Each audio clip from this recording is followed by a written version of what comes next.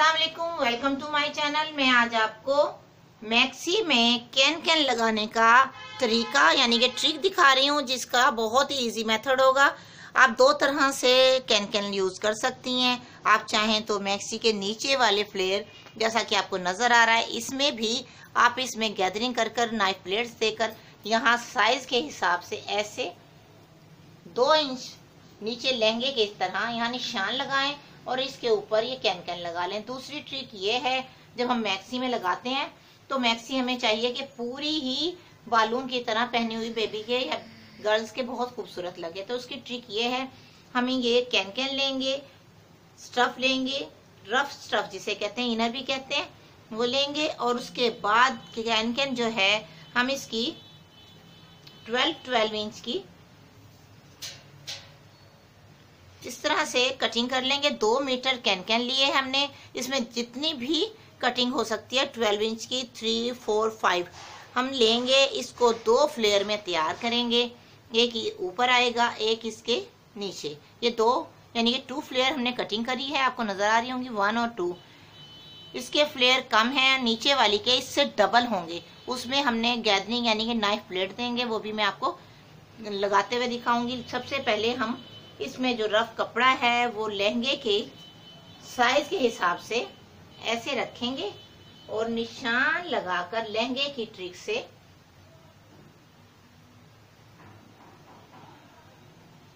यही same shape ऐसे और इस तरह से कट कर लेंगे और उसके बाद इधर से भी राउंड करेंगे, जैसे अमरेला कट करते हैं।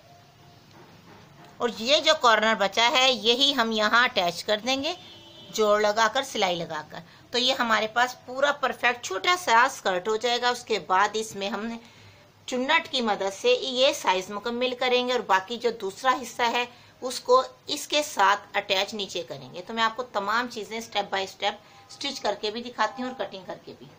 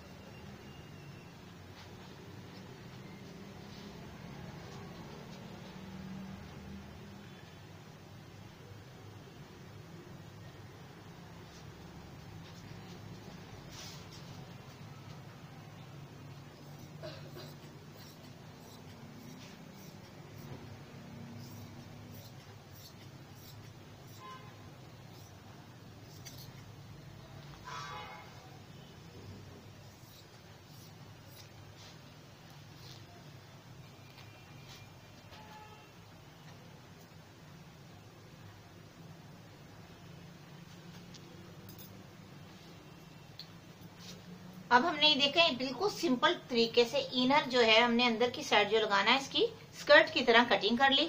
अब हमें कैन कैन में चुन्नट यानी कि धागे की मदद से आप चाहें, चाहे उंगली की मदद से चाहें, पहले एक पीस में चुन्नट दें, फिर नीचे वाले हिस्से में।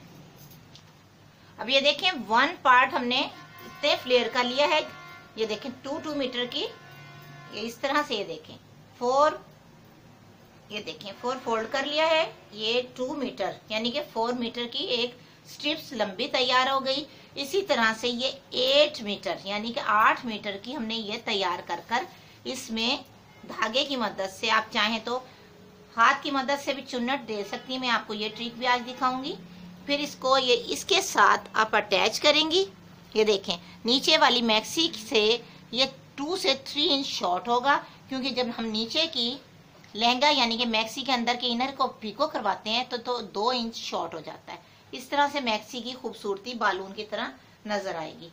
हम ये, इसके साथ इसको अटैच करेंगे और इस कैन कैन को चुन्नट देकर इसके साथ अटैच करेंगे। मैं अब आपको इसकी स्टिचिंग का तरीका भी साथ ही सबसे पहले हमने दोनों कैन कैन को राउंड कर लिया और नीचे वाली में इस तरह से हाथ की मदद से चुन्नट दी। यही चुन्नट मैं आपको ऊपर वाले पीस में, यानी कि ऊपर वाली स्ट्रिप्स में एक जो हमने कैन कैन किया, उसमें भी यही वाली ट्रिक मैं आज आपको दिखाऊँगी ताकि आपको अंदाज़ा हो जाए कि हाथ की मदद से भी चुन्नट कितनी अच्छी और नीट आती है। हम इसको आपस में ऐसे अटैच नहीं करेंगे, क्योंकि अगर हम ऐसे सिलाई लगाएँगे तो ये कैन कैन की सिलाई खड़ी हो जाएगी तो वो नीटनेस नहीं आएगी। तो मैं इस पीस को, ऊपर वाले पीस को ऐसे स्ट्रेट ऐसे नीचे वाले के साथ ऐसे रखूँगी और इसके ऊपर सिलाई लगा दूँगी ताकि दोनों ही प्रेस बहुत अच्छे से ये देखें, ऐसे हो जाए। क्योंकि अगर हम सिलाई लगाएँगे, फिर उसके बाद एक सिलाई और ऊपर लगाने की ज़रूरत पड़ती है, वो नज़र आती हुई बुरी लगेंगी। तो हम इसको ऐसे रखकर, इसको बिल्कुल एक स्ट्रेट सिलाई लगाते हुए तमाम राउंड में, ये भी मैंने राउंड कर लिया है, वो भी, और दोनों पे हम एक सिलाई लगाकर मुकम्मल राउंड एक सिलाई लगा लेंगे।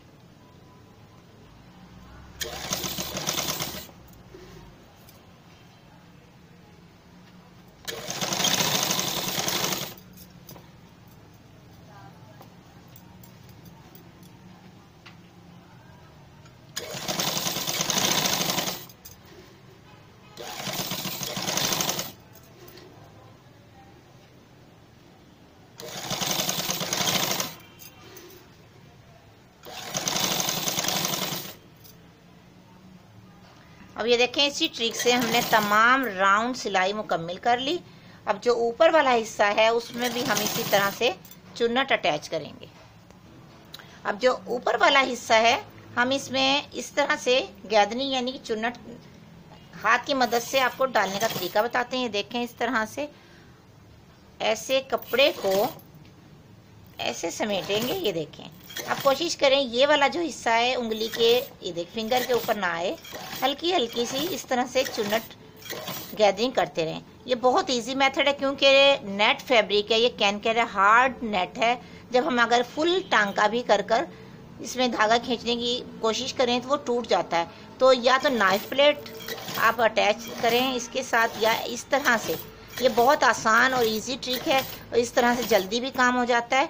और ये वाला साइज़ हमने उस साइज़ का बनाना है, चुन्नट देकर, जो हमने ऊपर स्कर्ट का ब्लू कलर का रफ कपड़ा, जैसे इनर वाला कपड़ा है, उसके साथ अटैच करेंगे। ये साइज़ हमने वो चुन्नट के साथ मुकम्मल करना है। अगर ज़्यादा हो जाए तो हम गहरी चुन्नट कर लेंगे, कम हो जाएँगी तो हम कहीं कहीं से चुन्नट, कहीं कहीं से एक ऐसे तोड़ लेंगे या अलग कर लेंगे। ये देखें, खुल भी जाती हैं इस तरह की हाथ की मदद से ही चुन्नट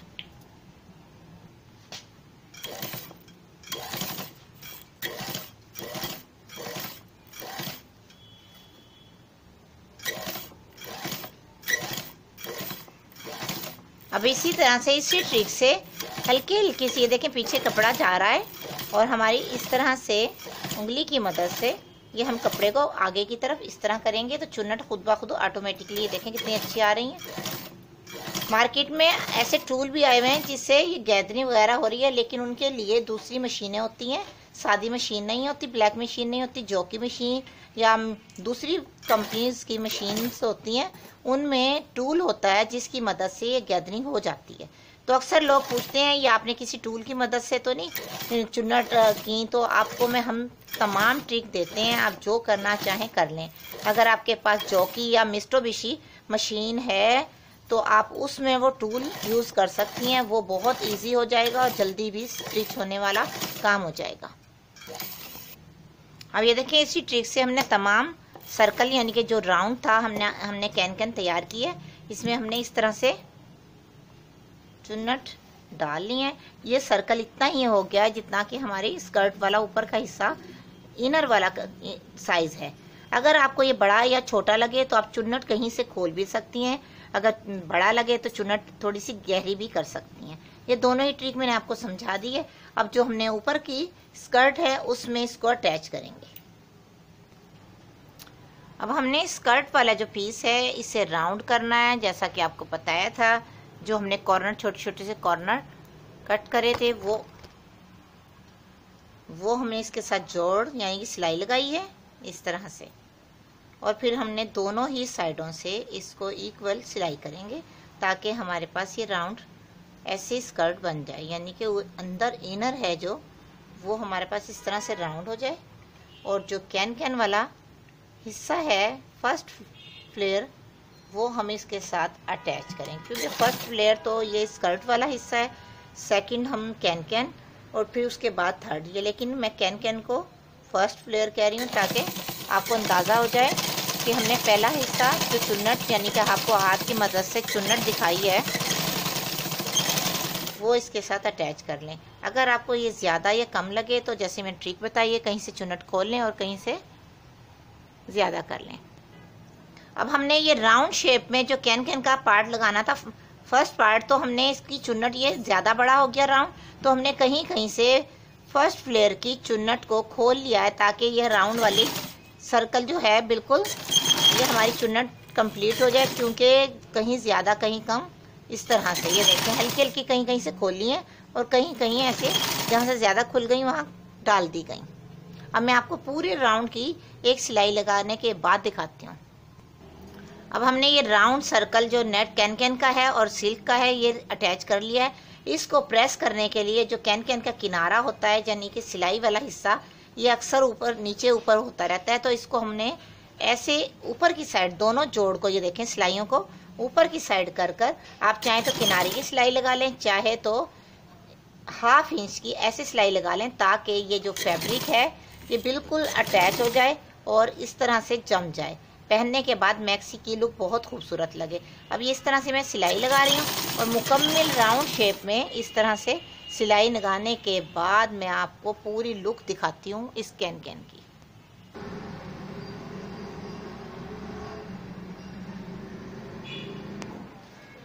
अब ये देखें, हमने कैन कैन कंप्लीट कर ली है मैक्सी की। अब इसको सिर्फ़ हमने मैक्सी के साथ ऊपर का राउंड जो आपको नज़र आ रहा है, वो हम अटैच करेंगे। अगर आप चाहें तो इसमें बेल्ट भी डाल सकती हैं। अलहदा से पहनने के लिए वो एक्स्ट्रा हो जाएगा, क्योंकि चाहे आप उसके वो लहंगे के साथ पहने, चाहे मैक्सी के साथ पहने, अगर अलहदा से आप बनाएँगी तो ये आपको हर लहंगे, हर मैक्सी के साथ पहनने के लिए एक ही अलहदा से मिल जाएगी। अगर अटैच करना चाहें तो अटैच भी कर सकती हैं, लेकिन ये हमने जो मैक्सी सिलाई करनी है, उसमें हम ये अटैच करेंगे। और ये देखिए, हम हमने आपको तमाम लुक इसकी दिखा दी है कि इस तरह से कैन कैन तैयार करती हैं। हमारे अक्सर सब्सक्राइबर कह रहे हैं कि आप कैन कैन का तरीका दिखाएँ तो हम दिखा रहे हैं। अगर आपको ये तरीका, ये ट्रिक कटिंग स्टिचिंग की पसंद आए तो ज़रूर ज़रूर बताइएगा और बताइएगा कि आपको ये हमारा काम कैसा लगा। अगर आपने हमारा मेरा चैनल सब्सक्राइब नहीं किया तो प्लीज़ सब्सक्राइब करें और बेल आइकन ज़रूर टच करें, क्योंकि अक्सर मेरे सब्सक्राइबर की बेल आइकन ऑफ़ हुई हुई है, वो दोबारा से चेक करके दोबारा चेक कर लें और टच करें। और मेरे पेज फहमिदा फ़ैशन बुटीक को ज़रूर लाइक करें, क्योंकि उसमें भी बहुत सारी डिज़ाइनिंग आपको मिलेगी फेसबुक पेज पर। अगर आपको ये तमाम बातें अच्छी लगें तो प्लीज़ ज़रूर बताइएगा कमेंट्स पर बताइएगा कि आपको ये कैन कैन की ट्रिक कैसी लगी। दुआ में याद रखिएगा। अल्लाह ताला आपको भी सेहत तंदुरुस्ती अता फ़रमाए, तरक्की अता फ़रमाए। मेरा फ़ोन नंबर आपको मैंने दिया हुआ, अगर आपको किसी ने कोई बात पूछनी हो तो मेरे व्हाट्सअप नंबर पे भी आप पूछ सकती हैं। ओके जी, अल्लाह हाफिज़।